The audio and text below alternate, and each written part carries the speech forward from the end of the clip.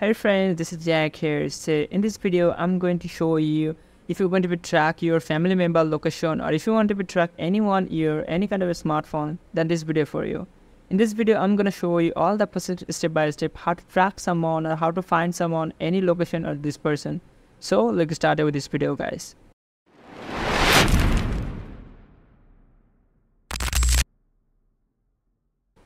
Well guys, the very first thing to going to be know exactly your any person's where exactly he is and his location right now, the current location.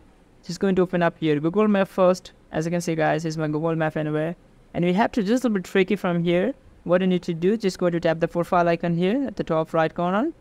As you can see the option called location share. It's just going to be a this one as well. And you have to tricky from here anyway, share to location. And you're going to be tapped the new share option from here, also going to be here the option call as you can see they're going to be all social media options going to be here. Now what to i'm going to be select to whatsapp here to my brother and i'm going to be find out my brother location. As you can see my brother is going to be here the first one. Akash click on as well.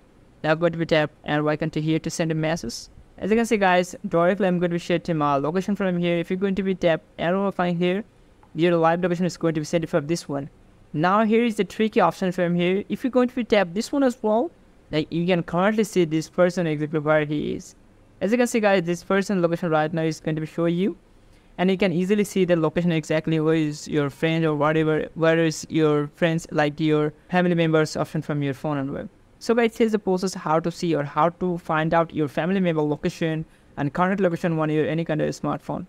So if this video will be helpful for you don't forget to subscribe my channel and stay with us. Thanks for watching guys